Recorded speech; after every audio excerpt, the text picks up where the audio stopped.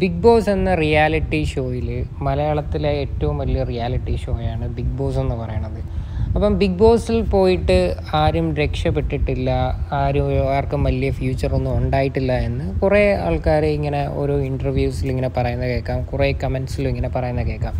ഇപ്പം ബിഗ് ബോസിൽ ആദ്യമേ പോയിട്ട് വിന്നറായ വ്യക്തിയാണ് ഈ പറയുന്ന സാബു മോൻ. സാബു മോൻ ബിഗ് ബോസിൽ പോയിട്ട് വിജയിച്ച ശേഷം സാബു മോന്റെ ലൈഫ് എന്ന് പറഞ്ഞു കഴിഞ്ഞാൽ ആദ്യമേ കുറച്ച് സിനിമകളിലൊക്കെ ഉണ്ടായിരുന്നു. സിനിമകളിൽ നിന്ന് പിന്നെ പതുക്കെ പതുക്കെ വേറെ ചാനലിലൊക്കെ ഓരോ ജഡ്ജസായിട്ടൊക്കെ ഇരിക്കുകയും അങ്ങനെയൊക്കെ തട്ടിമുട്ടി അങ്ങനെയൊക്കെ പോകുമായിരുന്നു എന്നാലും പുള്ളിക്കാരന് അത്യാവശ്യം നല്ല ഫിനാൻഷ്യൽ ബാക്കപ്പും കാര്യങ്ങളൊക്കെ ഉണ്ട്. പുള്ളിക്കാരന് ഫ്ലാറ്റായിരുന്നു ആ സമയത്ത് കിട്ടിയത്.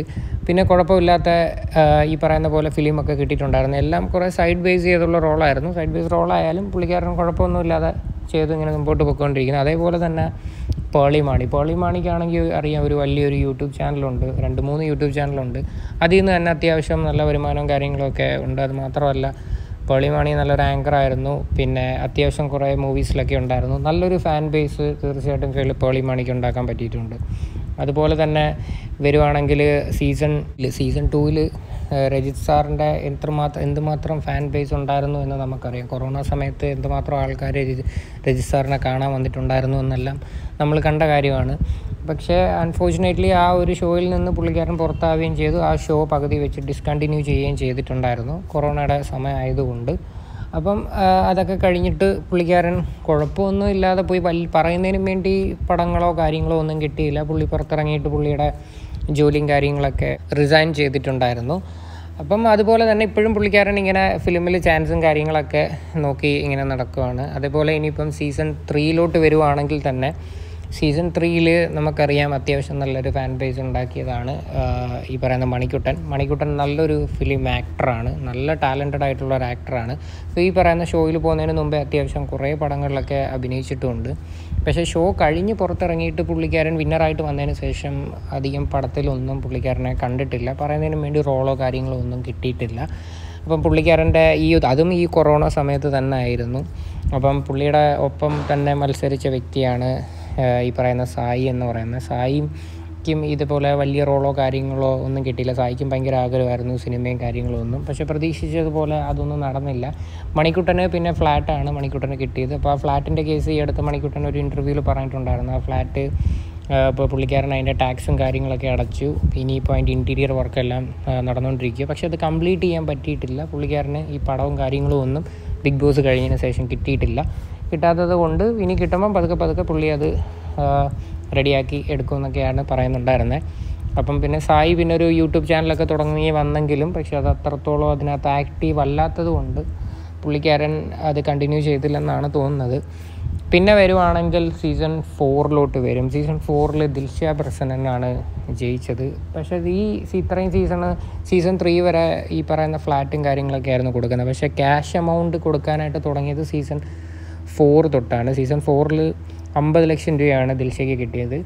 ദിൽഷയ്ക്ക് ഭയങ്കര ആഗ്രഹമായിരുന്നു ഒരു വീട് സ്വന്തമായിട്ട് പണിയണം എന്നൊക്കെ ഭയങ്കര ആഗ്രഹമായിരുന്നു. എന്തായാലും വീടിന്റെ പണിയൊക്കെ ദിൽഷ അത് സാധിച്ചിട്ടുണ്ട്. വീടിന്റെ പണിയെല്ലാം കഴിഞ്ഞിട്ടുണ്ട്. അപ്പം ദിൽഷ തന്നെ അതിന്റെ ഫോട്ടോസും കാര്യങ്ങളൊക്കെ ഷെയർ ചെയ്തിട്ടുണ്ടായിരുന്നു.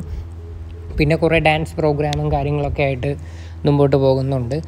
പിന്നെ സീസൺ ഫൈവ് അറിയാം. സീസൺ ഫൈവിൽ വലിയൊരു ഫാൻ ബേസ് ഉണ്ടാക്കിയ ഒരു വ്യക്തിയാണ് അഖിൽ മാരാർ എന്ന് പറയുന്നത്. അപ്പോൾ അഖിൽ മാരാറിന്റെ കേസ് വരുന്നു കഴിഞ്ഞാൽ അഖിൽ മാരാർ പുതിയ പടങ്ങളൊക്കെ അനൗൺസ് ചെയ്തിട്ടുണ്ട്.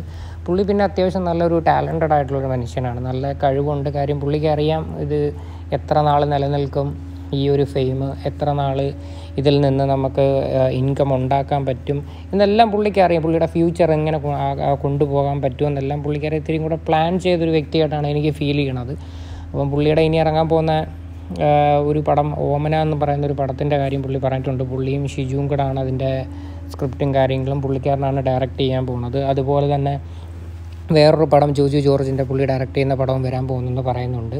അപ്പോൾ ഈ രണ്ട് മാസം വരെ പുള്ളിയുടെ ഇനാഗുറേഷനും കാര്യങ്ങളൊക്കെ കഴിഞ്ഞതിന് ശേഷം ഈ പറയുന്ന പോലെ തന്നെ പുള്ളിയുടെ ഫിലിമും കാര്യങ്ങളും എല്ലാം അനൗൺസ് ചെയ്യുമെന്ന് പറയുന്നുണ്ട്. അത് ഇപ്പം പുതിയ പുള്ളി ലേറ്റസ്റ്റ് ആയിട്ട് വോൾവോയുടെ എസ് നയന്റി എടുത്തിട്ടുണ്ടായിരുന്നു. അത് പുള്ളി അതിന്റെ സെക്ക അത് പുള്ളി അതിന്റെ സെക്കൻഡ് ഓണറാണ് എന്നാലും രണ്ടായിരത്തി ഇരുപത് മോഡൽ വണ്ടി. എങ്ങനെ പോയാലും ഒരു thirty five forty lakhs around എങ്ങനെ പോയാലും കൊടുക്കേണ്ടി വരും.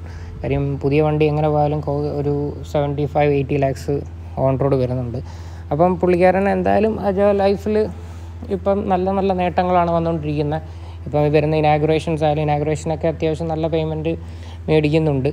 അപ്പം എന്തായാലും അടിപൊളിയായിട്ട് മുമ്പോട്ട് പോകുന്നതാണ് പറയുന്നത്. എന്തായാലും നമുക്ക് നോക്കാം. ഇപ്പോൾ ബിഗ് ബോസ് കാരണം ആരുടെയും ലൈഫ് തകർന്നു പോവുകയോ ആരും ഇങ്ങനെ ഫിനാൻഷ്യലി ഭയങ്കര ലോ ആയോ അങ്ങനെയൊന്നുമില്ല എല്ലാവർക്കും അത്യാവശ്യം നല്ല നേട്ടങ്ങൾ വന്നിട്ടുണ്ട്. ചിലവർ ലൈഫിൽ നല്ല രീതിയിൽ സക്സസ്ഫുൾ ആയിട്ടുണ്ട്. അതേപോലെ ചിലവർ ഇപ്പോഴും സ്ട്രഗിൾ ചെയ്യുന്നുണ്ട്. അതിനെയൊക്കെ കാര്യങ്ങളേ ഉള്ളൂ. അപ്പം വീഡിയോ ഇഷ്ടപ്പെട്ടെങ്കിൽ എല്ലാവരും ലൈക്ക് ചെയ്യുക ഷെയർ ചെയ്യുക സബ്സ്ക്രൈബ് ചെയ്യുക.